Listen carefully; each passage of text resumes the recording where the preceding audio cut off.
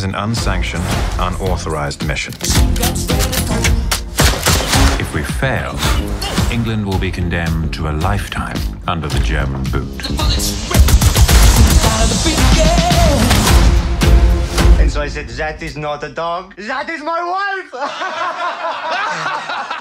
the Ministry of Ungentlemanly Warfare. Alright, so this movie, it takes place during World War II. Takes place uh, around the time of the Battle of London when the Germans were dropping bombs on London. And it basically, it stars Henry Cavill.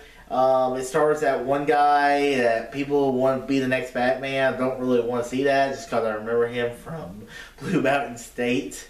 Uh, but I mean, he this is probably the first thing I've seen him in since that. Even though because I haven't watched Jack Reacher, I know people are like, "You need to watch Jack Reacher." I'll get there eventually. So, um, so this is a very interesting story because apparently this is a the because this was a this is a story that actually happened. So I didn't know that going into the movie. I saw a TV commercial that they during March Madness. I was like, oh, that looks interesting. New Guy Ritchie movie, directed by Guy Ritchie, of course. Uh, British action movie. I mean, it's either him or Matthew Vaughn. But I feel like right now Guy Ritchie is on a higher, on a lot harder streak than uh, this than uh, Matthew Vaughn is, and this is back to the classic Guy, Guy Ritchie action movies. Like the Covenant that came out last year did not feel like a Guy Ritchie movie. This one feels like a Guy Ritchie movie, and I really like the action. First off, Henry Cavill, I love the guy.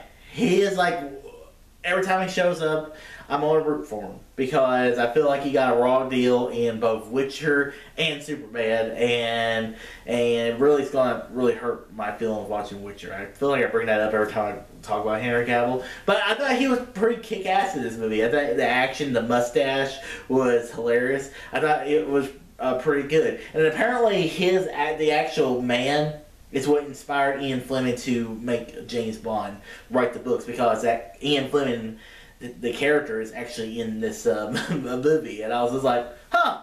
You know, whenever they said Ian Fleming, I was like, and then I was like, I was like, that's the guy who created James Bond. That's that's kind of interesting.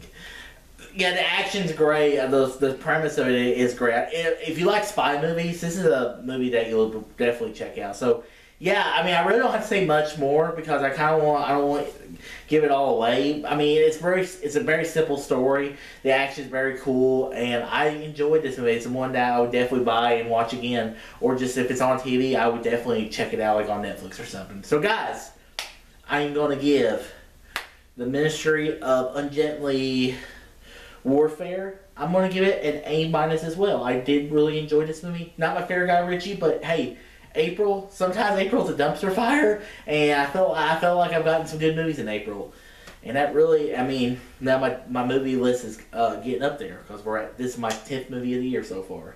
Woohoo! So guys, have you seen the Ministry of Ungentlemanly Warfare, and what are your thoughts? Comment below. Let me know. And guys, if you like this video, guys, thumbs up, subscribe some more, and tell your friends about Use the Nation. All too easy.